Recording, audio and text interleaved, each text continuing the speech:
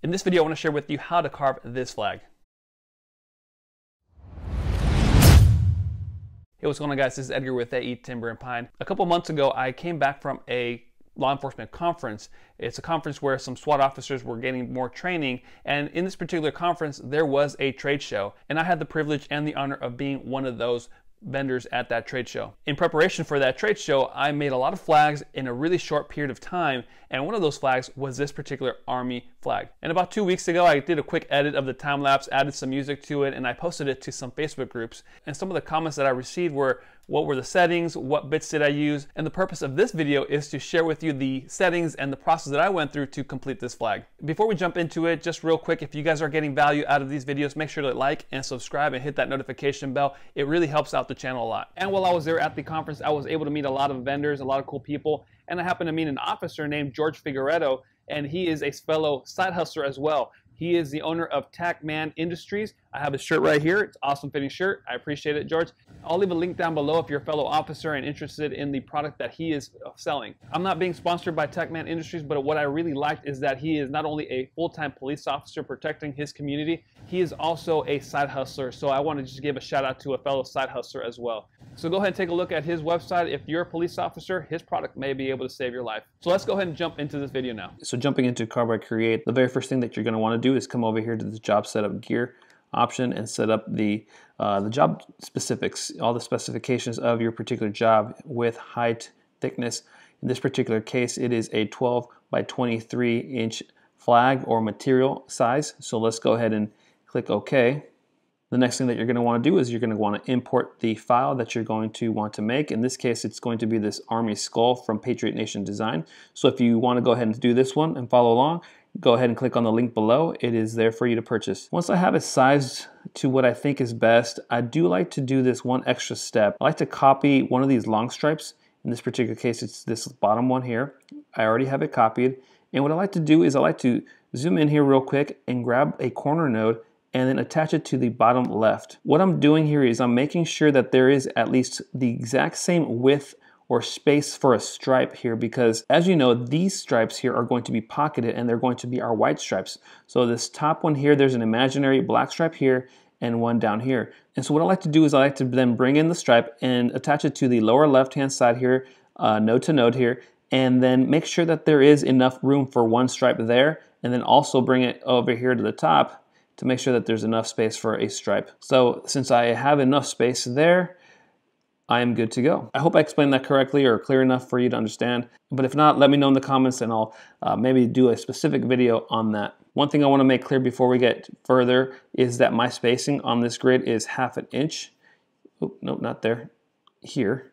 Grid spacing is half an inch. So just keep that in mind because in the next step, we're going to analyze or just kind of go over our file. As you can see here, we have a lot of detail with these, uh, with all these little vectors here that are very close together. So I just want you to take a look at it. You have this here, these, what would be the buckle for the helmet. These are all very close together. Again, this spacing here, this grid spacing is half an inch. So this is a lot smaller than half an inch here, this space between these vectors. So what does that mean? In my experience, I am not able to carve that detail. I am not able to get these two vectors, for example. Let's just go ahead and pick on these two right here. I am not able to get these vectors to carve cleanly. And what tends to happen to me, I can only speak for myself, is that these will eventually, uh, when they get carved, will be merged or blended and it'll be just one larger uh, carved out spot and it's not gonna look good even though it's one larger area carved out, it just doesn't look good. What I like to do then is I like to look for these vectors that are really close together, like this here. So this whole buckle area needs to be cleaned up in my opinion. So let's take another example. These two vectors here are within this larger vector. If I keep these two vectors here, it's not gonna add any more value to the overall image. I like to just personally remove these. Same with this, same with maybe here. What I typically do is I just like to keep one of these two, for example. I'm just going through this real quick, guys. I just want to show you what I go through, what my thought process is. Another area here is this eye here, this area for the eye and the nose. these are too close together. In my experience, these will end up getting carved together and it's just not going to be a clear picture and it's just gonna look blended, mushed all together. Okay, so with that being said, let me go ahead and show you what it looks like once it's cleaned up. Once I take away some of these vectors. So let's go ahead and click on this one here because I probably deleted that one. All right, so as you can see, I went ahead and cleaned up some of these areas of the file. As you can tell, the buckle has been cleaned up. I removed some of those vectors, some of these vectors in here. It's, yep, as you can see, I removed all these vectors in here. Let's see what else I cleaned up. In this larger vector, I removed these two inner ones. I kept all these here, and these, these I kept. I remove some of these here. So this is just what I personally like to do. So if you're following along, go ahead and clean up your file. Go ahead and clean it up however much you'd like, and then we'll move on to the next step. All right, so the next step is now setting up our toolpaths. And I like to do my toolpaths in groups, as I mentioned before. So in this particular design, I have three different toolpaths. I'm gonna have one for the stars, one for the stripes, and one for the skull and army text here. In this particular case, I'm going to set up my stars to be carved first. And I'm going to use a V-carve. I'm going to use my 60 degree V-bit. The plunge and feed rate that I use are 8090, RPM at 18,000. I keep the depth per pass and the step over as default. I never touch those.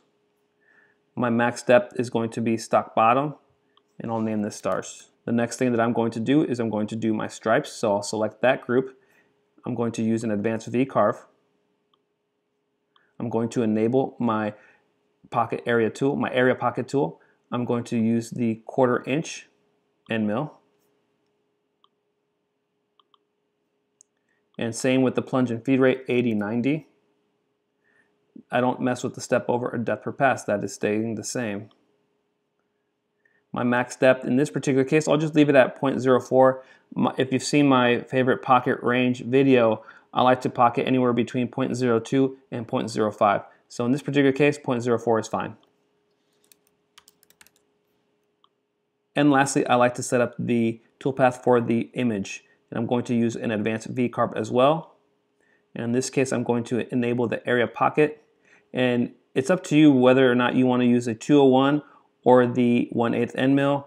If you want to go a little bit slower and maybe get a little bit more detail out of your image, you can go with the 1 8 In this particular example, I used the quarter inch end mill to speed up the process. And again, 80-90 for the plunge and feed rate. For my V-bit, I am going to stick with the 60 degree V-bit, again 80-90. And I'm going to keep the max depth the same. Even though it is an advanced V-carve, the advanced V-carve gives us a flat bottom. So we don't want to use the stock bottom for a max depth. We want a flat bottom, so we want to keep everything proportional at 0.04 or whatever max depth you did for the stripes. So now that we have everything set up, let's go ahead and take a look at our simulation. And there you have it, you have a nice looking flag. So now with the toolpath set up, let me go ahead and show you a time lapse of this being carved.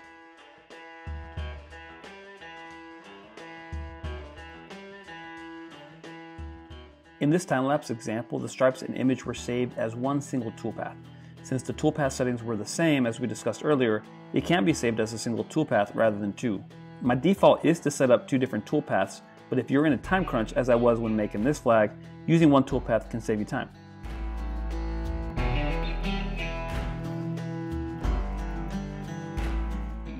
Carving stripes with an advanced V-carve may take more time than if I were to just use an end mill, but I really like how the 60 degree V-bit creates sharp corners on the stripes.